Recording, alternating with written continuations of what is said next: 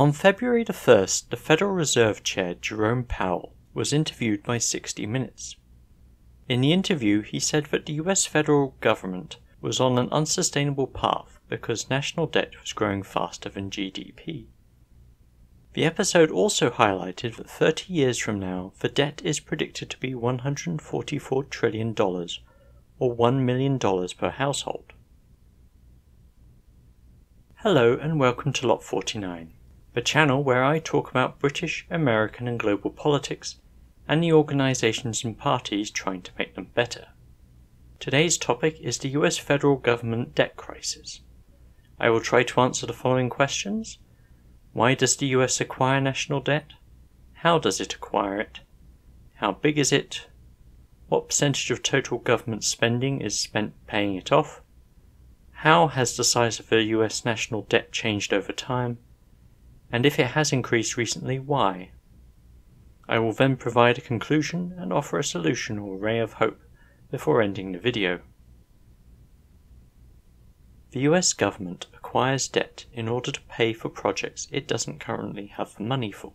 This can be due to a decrease in tax revenue, possibly caused by tax cuts, an increase in government spending, or spontaneous spending which has never been budgeted for and hence doesn't have a fund set aside for it. These could be important projects such as infrastructure spending, or projects the government deems important, such as providing weapons and ammunition to the various hybrid wars it wages against other countries.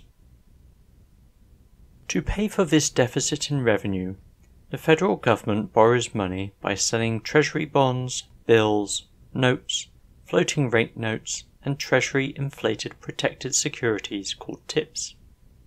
The current US national debt stands at just over $34 trillion. In December last year, it cost 288 billion to maintain that debt. That's 170 billion more than US Senate's proposed 118 billion dollar border and Ukraine deal. This 288 billion a year will take up to 17% of the US's 2024 federal budget. So how has the size of US national debt changed over time? This chart from Statistica shows how the federal debt, also known as the public debt, has changed since 1990. While it has continuously increased over time, there are points where the rate has rapidly increased, namely 2008 with a financial crisis, and in 2020 with the COVID outbreak and lockdowns. Since that point, it has skyrocketed. This chart from Investopedia compares the national debt to the country's GDP over time. We can see that it remained pretty balanced up until the 1980s and the election of Ronald Reagan and the implementation of Reaganomics, after which national debt began to grow faster than GDP. We see another surge around 2008 with the financial crisis, after which the ratio remained stable at roughly equal national debt to GDP. And finally, we see another spike in 2020 with the COVID pandemic, the ratio improved afterwards as economies opened up again, but remained high, with national debt being roughly 120% of GDP. Finally, this last table from the US Treasury shows the national debt each year along with any major fiscal events that took place. This part of the table only covers 2007 to 2023, but on the US Treasury website it goes back further. Anyway, from this we can see more of the details that shape the growth of US national debt.